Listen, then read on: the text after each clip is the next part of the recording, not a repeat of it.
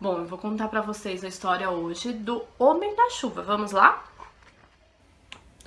Você conhece o Homem da Chuva? Eu conheço o Homem da Chuva. É um homem leve, leve e que mora nas nuvens. Salta de uma nuvem para outra sem afundar o piso, macio e vaporoso. As nuvens têm muitas torneiras. Quando o homem abre as torneiras, as nuvens deixam cair água sobre a terra.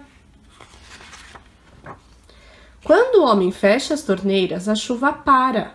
O homem da chuva tem muito trabalho sempre abrindo e fechando todas as torneiras e às vezes fica muito cansado.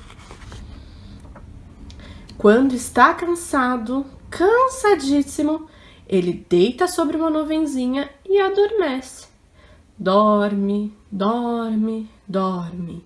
E, no entanto, deixa abertas as, todas as torneiras e continua a chover.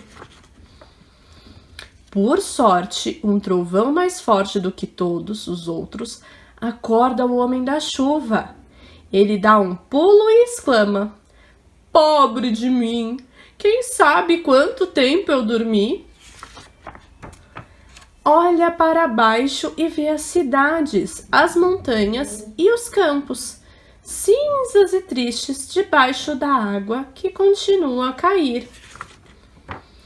Então começa a saltar de uma nuvem para outra, fechando todas as torneiras.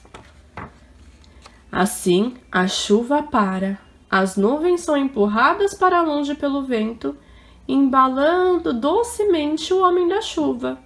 Ele adormece de novo.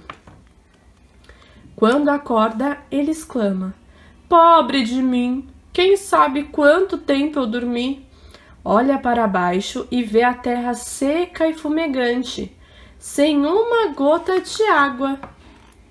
Então corre pelo céu, abrindo todas as torneiras, e sempre assim ele vai levando. Bom, essa foi a nossa história de hoje. Eu espero que vocês tenham gostado, ok? Um beijo e até a próxima!